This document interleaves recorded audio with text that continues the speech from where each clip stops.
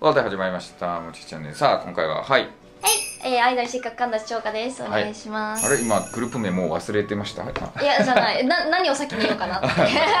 今回はですね英検級より難しい国連英検トーク A 級というものにですね挑戦していただこうかなと思いますね。なんで国連っていう名前がついてるんですか？英語ができるできない関係なく国連の知識があるかっていう問題も出ます。あこれをチョコさんに受けてもらうとなったらチョコさんは国連について勉強しなきゃいけないというですね。ー。ちょっと嫌そうな顔をしてしまった。でも社会学だから他のネイティブよりは知識があるかなとー、どうだろう。英検級は単語単体で出てきますけどあのレベルの単語が長文の中で聞かれます。あやっぱ相当早く読めないとそれー、いけるかもって。いうのがあるのでだから英検級取れる人たちとここのレベルもすごい差があります壁がよくまあ一発で合格できたなと思うところなん。ですがじゃあ例えばですね例をちょっと見ていきたいと思いますんで早読みは割と得意なんですけど、それ以外の部分は自信ないです。早読みって言わないですけどあ、ね早読みって言わないですか？速読ですさあでは regular program budget of the United Nations is approved by the General Assembly biennially. これは2年に1回ってことかそうです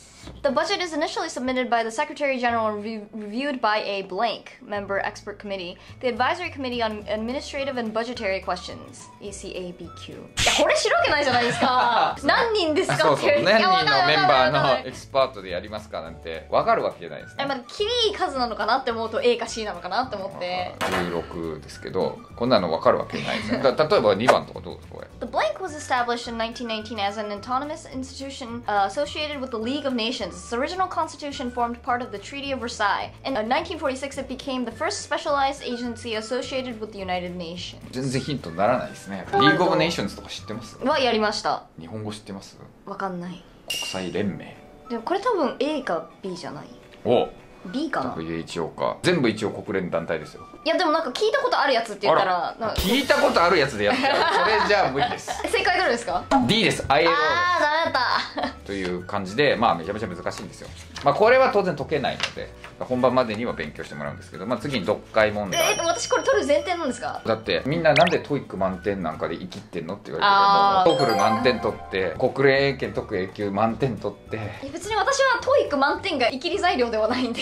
まあそうやって言ってくる人がいるんでね。嬉しい例えばこれは正語問題ですね、は U.S. and Cuban officials began a historic round of talks on Wednesday to bridge a 50 year rift in diplomatic relations, but just a day later, the Cuban delegation slammed the United States on its human rights track record. これは C ですね。い、どこが間違ってますか？これ過去形じゃないですか。スラミングが。を直すのが？Slammed? ですよねスラムってことは？叩く。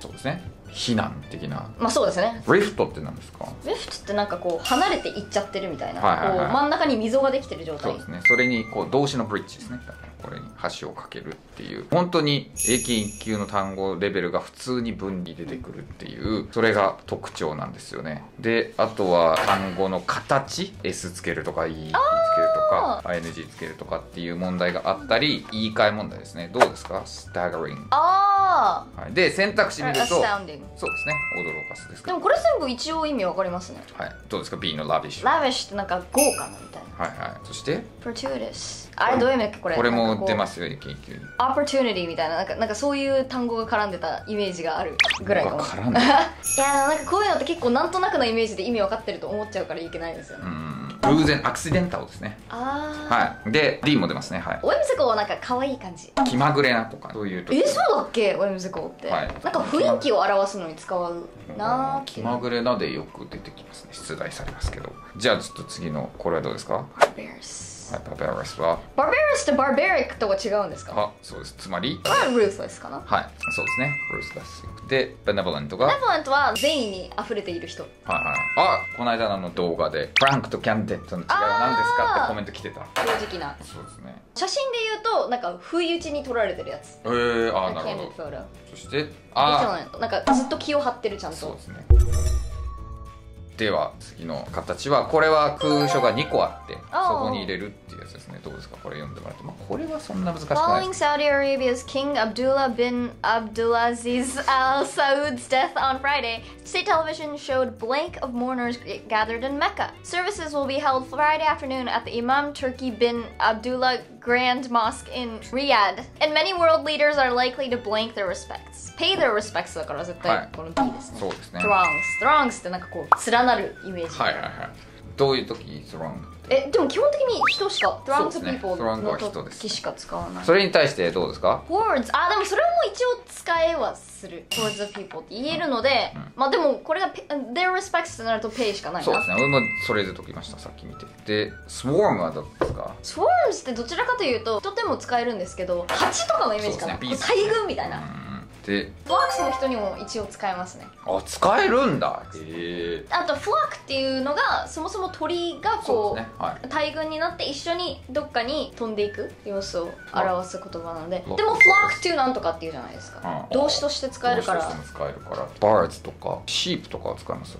Flocks of sheep ああ使えますね。ね。はい、そういうのに使ったりするっていうこういうのができたりとか言い換え表現がまたね出たりとかしてますね。concentration まあこれ簡単でしょうね。concentration なんて。concentration of carbon あー dioxide ってなると density そうですね。はい。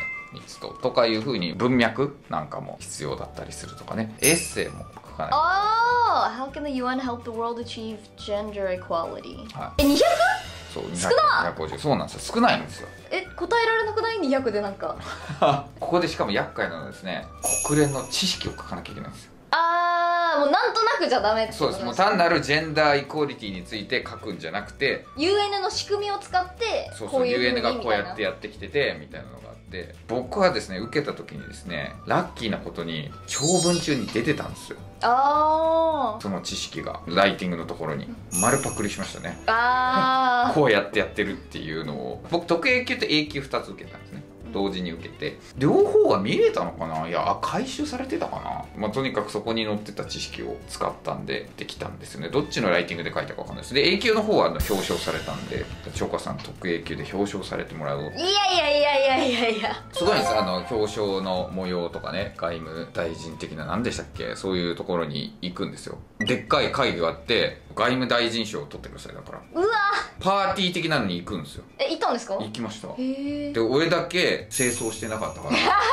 えこれで行ったこれじゃなかったけどみんなスーツなのに一人だけスーツじゃなかったからあうわー早く帰りてーってなって。ー まあ確かに本当は豪華なご飯も食べれるのに知り合いも誰もいないしって言って帰りました。あでもそこで外務大臣とか元総理とか来ますから。ーこれえー、すごはい。いそこで表彰されます。よ外務大臣に表彰されますから。だから行きましょう。ここまで。うわ国連の知識を使ってないとダメですから面接も。面接あるんですよこれ一次試験受かっても二次試験の面接で国連の知識を入れて喋れないと、まあ、一ノ瀬杏先生っていうねバイリンガルの有名な先生。 TOEFL も満点 IELTS も満点の先生いますけどなかなか受かんなかった国連英検の二次試験。国連の知識がないからっていう怖い怖い。ということでぜひ長子さんがこれからねもしかしたら国連のことについての勉強を常にシアトル行きの飛行機の中で アイドル活動の合間を縫ってで。そう教科書あるんで国連英検のそれやるかもしれない。まあでもまあまずは TOEFL なんでね。 TOEFL はいつでした？そうですね。18です。9月の18もうすぐですね。もうすぐです。ぜひ応援してあげてください。ということでございました。ありがとうございました。Thank you for watching